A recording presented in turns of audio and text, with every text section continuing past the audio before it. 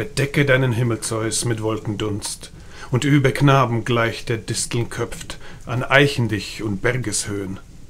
Musst mir meine Erde doch lassen stehen, und meine Hütte, die du nicht gebaut, und meinen Herd, um dessen Glut du mich beneidest. Ich kenne nichts Ärmeres unter der Sonne als euch Götter.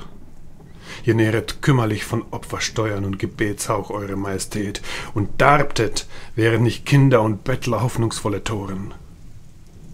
Da ich ein Kind war, nicht wusst, wo aus, wo ein, kehrt mein verirrtes Aug zur Sonne, als wenn drüben wär ein Ohr zu hören meine Klage, ein Herz wie meins, sich des Bedrängten zu erbarmen. Wer half mir wieder der Titanen Übermut? Wer rettete vom Tode mich, von Sklaverei? Hast du's nicht alles selbst vollendet, heilig glühend Herz, und glüht es jung und gut, betrogen, Rettungsdank dem Schlafenden da droben? Ich dich ehren, wofür? Hast du die Schmerzen gelindert, jedes Beladenen hast du die Tränen gestillet, jedes Geängsteten? Hat nicht mich zum Manne geschmiedet die allmächtige Zeit und das ewige Schicksal, meine Herren und deine? Wähntest du etwa, ich soll das Leben hassen? in Wüsten fliehen, weil nicht alle Knaben morgen Blütenträume reiften.